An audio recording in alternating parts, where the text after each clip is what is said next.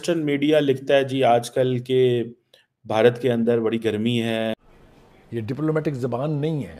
ये जो Matthew Miller साहब हैं इनकी ज़बान में एक धमकी है। तो, तो हर दो नंबरी करते हैं हर गलत काम हम करते हैं लेकिन हम कहते हैं कि हमारे जो हुक्मरान हैं उनका दामन साफ़ होना चाहिए। शंकर ये कह रहे थे कि बिल्कुल गर्मी है लेकिन हमारा जो वोटर टर्न आउट है आपके मुल्कों के वोटर टर्न आउट से ज़्यादा है डिस्पाइट द फैक्ट गर्मी है। तो उनकी बात मुझे लॉजिक तो नज़र आई। ईरान इंडिया के साथ ट्रेड कर रहा है इंडिया पर कोई सैंक्शंस नहीं है। लेकिन पाकिस्तान अगर गैस पाइपलाइन के ज़रिए गैस लेकर अल्टीमेट हम पर सेक्शंस दुनिया तो मैं कहती है भिखारी कौम है। ठीक है जो साफ़ सी बात है। हमारी कोई इज़्ज़त नहीं है कहीं पे। हर मुल्क जवाब नहीं दे सकता। भारत वो मुल्क है जो जवाब दे रहा है। And it is all about confidence इसका ताल्लुक कॉन्फिडेंस है लेकिन कॉन्फिडेंस कैसे आता है? कॉन्फिडेंस आता है पीछे आपके वर्क है प्रोग्रेस है डेवलपमेंट है। पाकिस्तान फिर से एक बार वही गलती करने जा रहा है जिस गलती की वजह से या जिन गलतियों की वजह से पाकिस्तान आज इस कंडीशन में है। कि नौज बिल्ला मिनजालिक नकले कुफर कुफर नबाशद मेरे मुँह में खाक पाकिस्तान टूटने जा रहा है।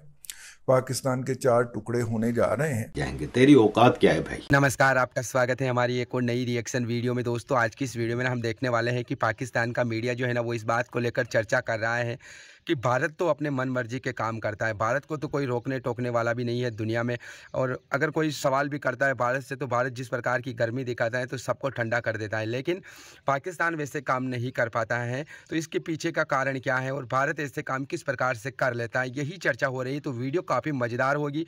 पूरी देखना, लाइक करना, शेयर करना। अगर आप हमारे चैनल पर नए हो तो सब्सक्राइब करके बेल आइकन को दबाना। तो चलिए वीडियो को शुरू करते हैं। भारत की जो लीडरशिप है, डॉक्टर जयशंकर जो है वो एक तकरीब से ख़िताब कर रहे थे एक किसी महफ़िल में, तो वो कह रहे थे कि वेस्टर्न मीडिया लिखता है जी आजकल के भारत के अंदर बड़ी गर्मी है, ये इलेक्शंस क्यों करवा रहे हैं? तो वो कह रहे थे डॉक्टर जयशंकर ये कह रहे थे कि बिल्कुल गर्मी है, लेकिन हमारा जो वोटर टर्न आउट है, आपके मुल्कों के वोटर टर्नआउट से ज़्यादा है, डिस्पाइट द फैक्ट गर्मी है। तो उनकी बात मुझे लॉजिक तो नज़र आई। लेकिन क्वेश्चन ये है कि दुनिया को जो डेवलप वर्ल्ड है, उसको सारी बात है एक ये होता है कि हाँ जी, हमें इनसे पूछना है। हर मुल्क जवाब नहीं दे सकता, भारत वो मुल्क है जो जवाब दे रहा है। And it is all about confidence इसका ताल्लुक कॉन्फिडेंस है, लेकिन कॉन्फिडेंस कैसे आता है? कॉन्फिडेंस आता है, पीछे आपके वर्क है प्रोग्रेस है डेवलपमेंट है, अच्छी इकोनॉमी है स्टेबल पॉलिटिकल एनवायरनमेंट है आपकी जो डिफरेंट सेक्टर्स है, वो परफॉर्म कर रहे हैं। The world is dependent on you that definitely gives your credit but on Pakistan case Pakistan doesn't have that confidence कि पाकिस्तान अभी रिसेंटली फॉर एग्जांपल पाकिस्तान के जो इलेक्शंस हुए तो उस इलेक्शंस में आपने देखा होगा कि अमेरिकी सदर जो बाइडन ने पाकिस्तान को मुबारकबाद भी नहीं भेजी। द रीजन बिहाइंड वॉज़ कि इलेक्शन प्रोसेस ही बड़ा फॉल्टी रहा। लोगों ने उसके ऊपर क्वेश्चन मार्क ही बड़े कर दिए। लोगों ने इतने सवाल उसके ऊपर किए कि लोग महसूस करने शुरू हो गए कि भाई ये क्या चीज़ है? ये क्या चीज़ है कि हम इसको कैसे जस्टिफाई करें? पाकिस्तान ये सवाल किसी से नहीं कर सकता बिकॉज़ पाकिस्तान ने उनको कहना होता है कि हमारे फ्लड्स आ गए हैं, हमें को पचास मिलियन तीस मिलियन दे दें। अब हमारी लीडरशिप ने ये क्वेश्चन करना शुरू कर दिया कि भाई जिधर जाओ क्लाइमेट के नाम पे पैसे मांगने शुरू कर दो। कहो जी भाईजान क्लाइमेट का टेंशन बन गई, पैसे काट दो सान थोड़ा जा इंडिया ये पैसे नहीं माँगता। इंडिया क्या कह इंडिया जो है, वो किसी को फिर वो क्वेश्चन भी नहीं करने दे रहे। वो कह रहे हैं इंडिया के इलेक्शन में गर्मी है तो वो कहते हैं, यार, ये हमारे हैं ना। तो डॉक्टर जयशंकर की बात में बड़ा मुझे, बड़ा वज़न लगा। मैंने कहा, ये काम कौन कर सकता है? ये काम डेवलपिंग वर्ल्ड जो है, उसमें वो डेमोक्रेसीज कर सकती हैं, ये वो ममालिक कर सकते हैं, जो दे हैव मूव्ड जो हम एकेडमिक लैंग्वेज में कहते हैं ना, कि वो पेरिफ्री से सेमी पेरिफ्री में आ गए हैं। पेरिफ्री और सेमी पेरिफ्री एंड सेंटर का जो रिलेशनशिप है, ये बड़ा डायनामिक किस्म का रिलेशनशिप है।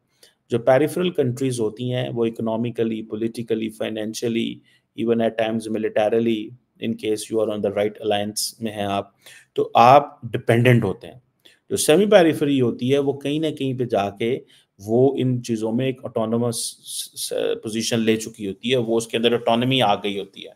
उसके हालात जो हैं वो बदल चुके होते हैं। सो ये एक आ, आ, ये चीज़ जो है वो आ, वो हमारे सामने है। सो so, हम ये बात नहीं कर सकते। हमारे इलेक्शन कमीशन के ऊपर मीम्स बन रही हैं आजकल। फॉर एग्ज़ाम्पल हमारे इलेक्शन कमिश्नर जो हैं वो उनके ऊपर क्वेश्चन मार्क है कि उन्होंने इंतहाई अनफेयर इलेक्शंस करवाए। तो दुनिया में अगर कहीं पे इलेक्शंस होते हैं तो आजकल मीम्स ये बन रही हैं कि for example I think recently Russia में इलेक्शन हुए तो पाकिस्तान के यही इलेक्शन चीफ इलेक्शन कमिश्नर गए, या अमेरिका में इलेक्शन हो रहे हैं। तो सुनने में आया कि रिपब्लिकन पार्टी जो है, वो पाकिस्तान के इलेक्शन कमीशन को कह रही है कि आप अपने, हमें खिदमात दें, यहाँ पे हमने इलेक्शन रिक करने हैं। मतलब दैट इज़ हाउ दुनिया ने हमारा मज़ाक उड़ाया। दुनिया में किस नज़र से इस टाइम देख रही होगी? मतलब जाहरी बात है लोग तो फिर हँसते हैं और हम कहते हैं लोगों ने दुनिया ने साजिश कर दी ये नॉन मुस्लिम ने साजिश कर दी। सर दुनिया तो मैं कहती है भिखारी कौम है। ठीक है जो साफ़ सी बात है। हमारी कोई इज़्ज़त नहीं है कहीं पे भी।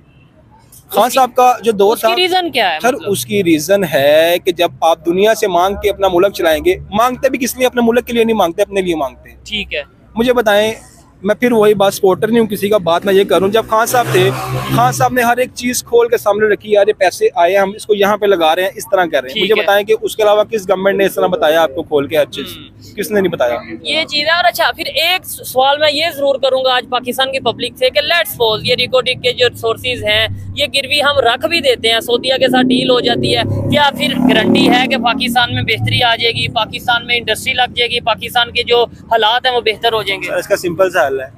कि पूरा मुल्क बेचे गोरों को वो यहाँ पे अपनी गवर्नमेंट लेके आए अपना कानून लेके आए ठीक है। हमारा मुल्क ठीक हो जाए। आपको पता है आप क्या बात कर रहे हैं? मतलब जिस हमें जो बताया जाता है कि इस मुल्क के लिए कई लोगों की जानें चली गई। लोगों ने हमारी औरतों ने हमारे जो बड़े थे उन्होंने अपनी कुर्बानियाँ दे दी। और आप कह रहे हैं कि फिर गोरों के हवाले कर दें। आपके ख्याल में इस हम लोग आज़ाद है?